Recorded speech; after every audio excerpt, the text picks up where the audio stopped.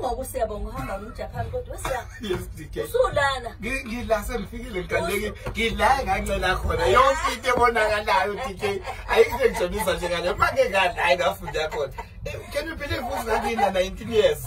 cabanga ngiyaguga manje uguga noyibanaiosho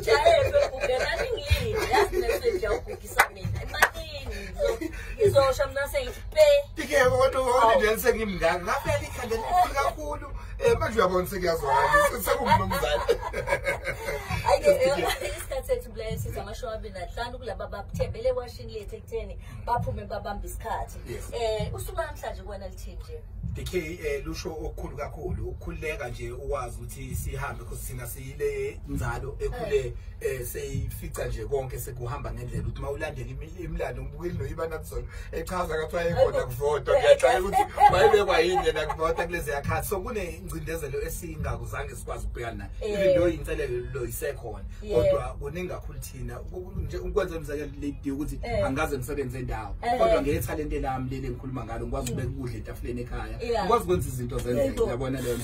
inkundeko leyo because uzoba umzwakhe mbuli bakutshela bekubona babephefomela nje ukuthi baphefomile nokuqhunyisa imizi namabhomu thina sike sithinta ama-topic anzima kakhulu kodwa mm. ngenxa yenkululeko sivumelekile ukuthi sikhulume ngezinto ey'fana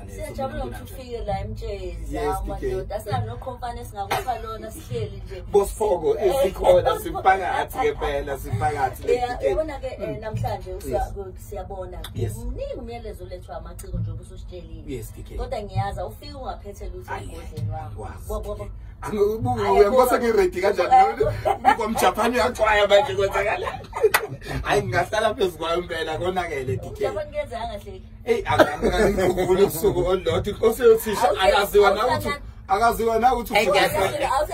ngiyahlela kakhulu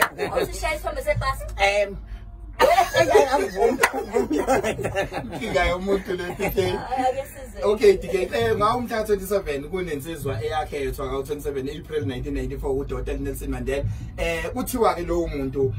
ngaphambili kokuthi aboshwe wayengumshaya isibhakela ingakho noma sebembopha waqala bafindela sona isibhakela wabheka phezulu komkhulu kakhulu unkulunkulu maqedwa phamisa sona isibhakela phezulu wathi amandla awethu izizwe kwakwelethu kodwa amandla kwakungewona wethu kodwa iqhawe lingumadiba laselibonile ukuthi esikhathini esizamandla kuyobe ngawethu kangokuthi ababembopha mbuyemsole ngathi babelahlekelwe umqondo ngoba bagcina ukubopha umzimba ngaphakathi bashiya ngaphandle umqondo phela babengazi ukuthi madiba ungungqondo ungqondo waqala asebenzisa umqondo my name is nelson madiba kwaze kwamnandi kundiba sondela ngibambe ithambo kwaze kwamnandi ukubona mr thambo even though impilo ibheda namuhla kodwa kusasa izobe isweet like honey i promise you mr honey even though bengisejele kodwa kimi ifikile imbiko yokuthi bebengazibekile phansi omr oh, steve biko my name is blackson madiba konje le ndaba soyithini bheka ngaphandle sebebuleli lokulunga gumede ne-etapixazini and futhi ugcwele amathafu uthi eithi emashrinini ayisula zilime ziyetsheni phela la magwala asehlasela ngishentsheni ayikhiphi ifunde esikoleni avalela thina etulongweni abacindezeli bavumelana lo madibaba akaphume esegubile wathi yebo ngiyo ngizophuma sengigobile kodwa isimo siyobe sesiqondile senqobile ngiphumele ngaphandle ngiphile iminyaka ngeminyaka nyaka ngingathi nyaka phela mina my name is nelson madiva siyakwaaunjalo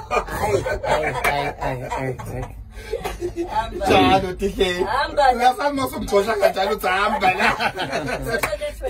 yes eh, ungamthola-ke usiyabonga imbongi mpungo sepage ku-facebook um bese kube usiyabonga underscore imbongi underscore um mpungose ku-instagram inombolo ongakwazi ukuthinta kuyona ma-sms mahala wasebenzi ithi 0ero six two nine six eight one six nine four cindezela u-one ayi ma kunalezonkinga kuzokonakala and kuphi i-paragraph le kade ngiyenza abacindezeli